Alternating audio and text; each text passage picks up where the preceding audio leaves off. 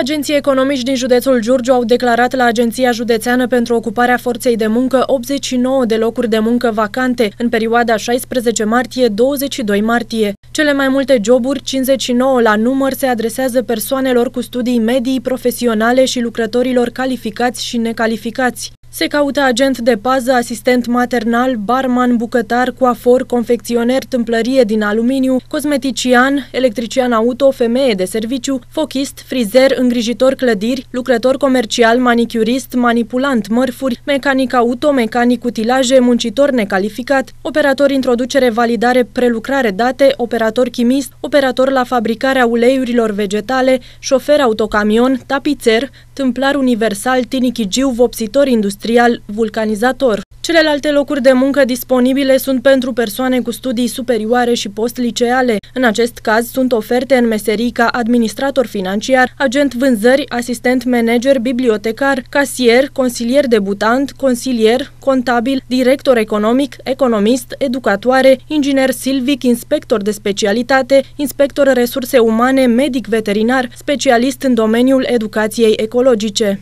Mai multe locuri de muncă, aproape 400, sunt în spațiul Uniunii Europene, puse la dispoziție prin intermediul rețelei EURES. În Belgia un post, manager senior de proces, Germania 53 de posturi, ergoterapeut, dezvoltator software, inginer calitate, inginer electrician, inginer și mecanic proces în tehnologia prelucrării plasticului și a cauciucului, tehnician electronist, mecanic echipamente sanitare de încălzire și aer condiționat, șofer autocamion, factor poștal. În Marea Britanie sunt 209 posturi, bucătar, îngrijitor persoane, infirmier, asistent medical, șofer profesionist. Norvegia pune la dispoziție trei posturi, doctorand și postdoctorand în departamentul biomedical, inginer instrumente de măsurare. Olanda trei posturi, programator, designer software. Polonia patru posturi, asistent manager, designer grafic, dezvoltator Android, administrator. În Republica Cehă sunt 21 de posturi, șofer profesionist camion, șlefuitori, pilitori. În Slovacia 43 de posturi, șofer autocamion transport internațional, îngrijitor persoane, infirmier, sticlar.